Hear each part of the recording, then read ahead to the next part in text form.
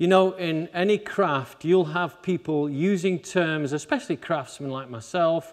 You'll have other woodworkers saying woodworking will be using terms that others have never heard of. And one of those terms I want to talk about today is the scrub plane, a scrub plane. Somebody says, you know, I use a scrub plane for this or that. What does the scrub plane do? And what is the historical perspective on it? Where did it come from? When did we start using it? And, um, and when would we use a scrub plane? What can you expect from a scrub plane? And that's what I want to talk about. And I want to take us back a little bit into the history of it, because if we understand the history, we'll see where we came from and where we're going to. Um, here I've got a couple of old wooden block planes, we would call them. These were smoothing planes, they're not very long. And these two planes have developed, they've changed. You can see this one has a very wide throat, this one here has a very narrow throat, but this one, the one with the wide throat, was this plane in the beginning. So what this plane did, it was a smoothing plane. We used it to smooth surfaces like this. We took a shaving off. We made the, the, the surface nice and pristine. And, um, and that's what the smoothing plane did.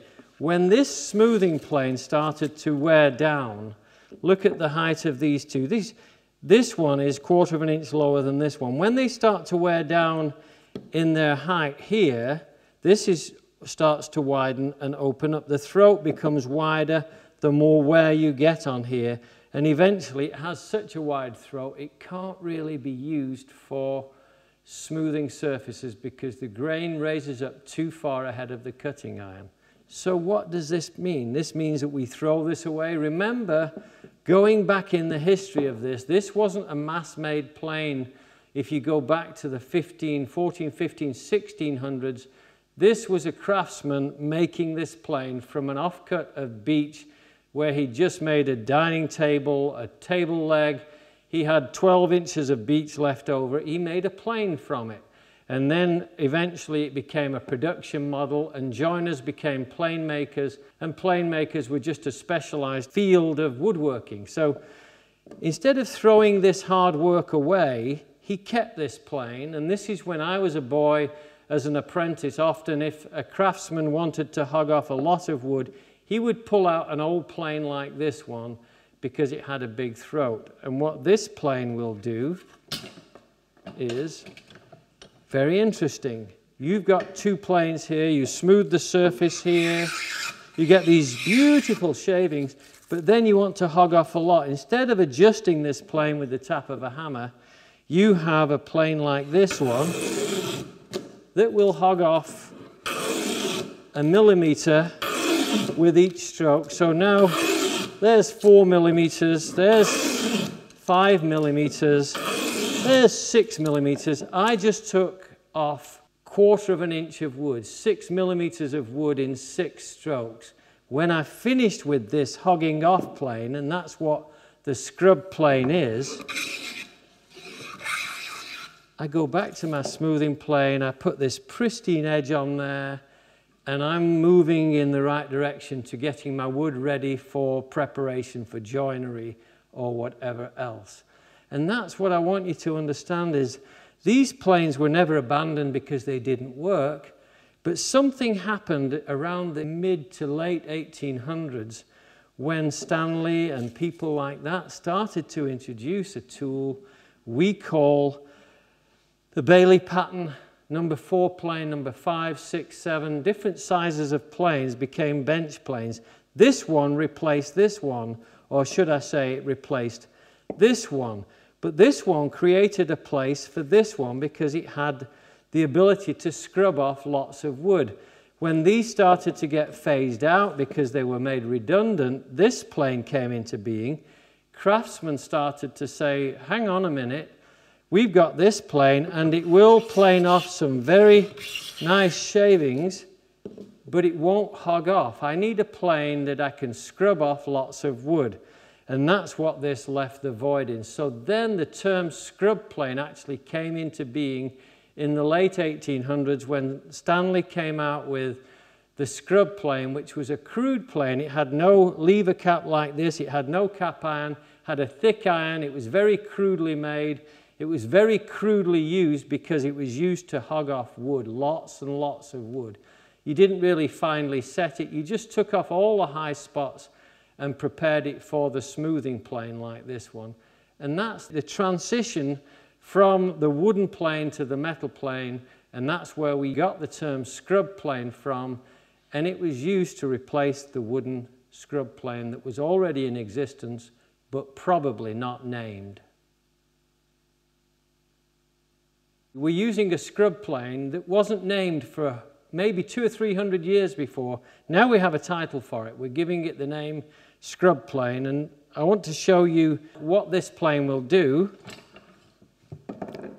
so that you can judge for yourself how this works. This is got the open throat, I'm ready here.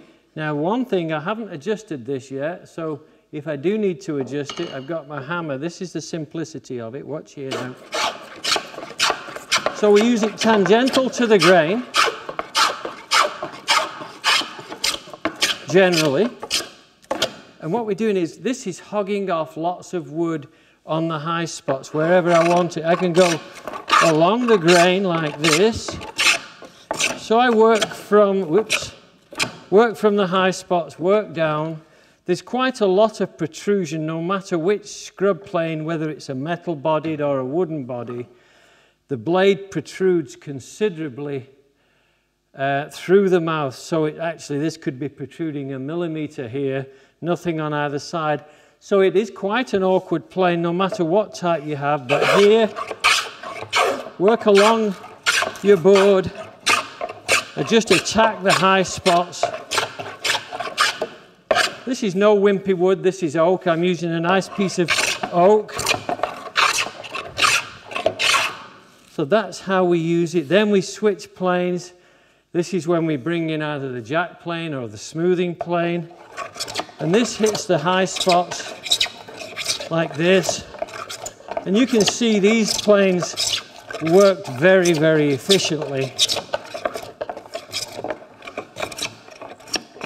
Get down your high spots, take off the ridges left from the scrub plane, and all of a sudden, you've got this silky smooth surface that you can work with. What about the edges of your boards? Yes, the scrub plane would be used a lot on the edges of boards like this. So here I am taking about half a millimeter off here. Thick shavings, yes, it worked very well. The thing is, you can still pick these up, you can still buy these. What about the chamfer here? Come on here with your scrub plane. Take a chamfer off. Now, because the blade is protruding quite a bit, it might leave little undulations in the surface. So this is when you bring in your smoothing plane like this. Just finish off your chamfer and you end up with this beautiful, silky, smooth finish. Like this. Now, what happens if you pick up? This is going to be changing now from a century earlier. I come back in with two planes here. This is my scrub plane. You can see I've got this curve in the blade here all the way along the edge. I'll show you the two compared with each other in a second. But let's go here. Now this is taking off.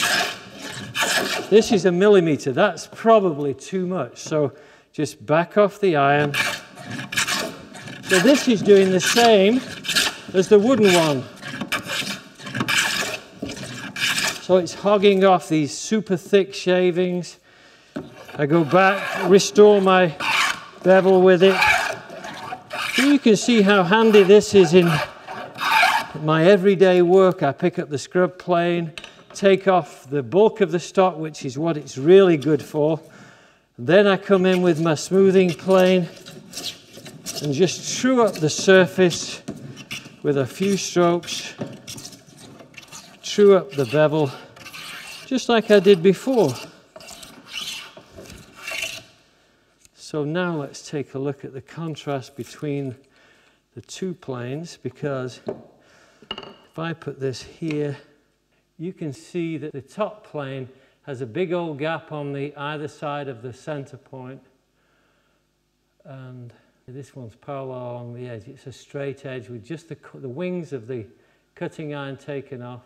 And there you have the difference between the two planes, one with the adaptation, the other one with its original iron in place. So now you have this insight, you can look back on it, you can understand how we got here, you can look at the industrialism, you can look at the progress that was made through the periods, the industrialized giants coming into being, disappearing, the machine coming in. But now we're working with hand tools. We still need the scrub plane. And you can see why I reach for this plane. This is my scrub plane. There is no compromise. These two planes would work side by side equally. And the functionality of my modern day plane is just the same. I use it whenever I want to hog off a lot of material in exactly the same way they did two, three, four hundred years ago. And this is my modern day scrub plane. This is what I use in the everyday of life.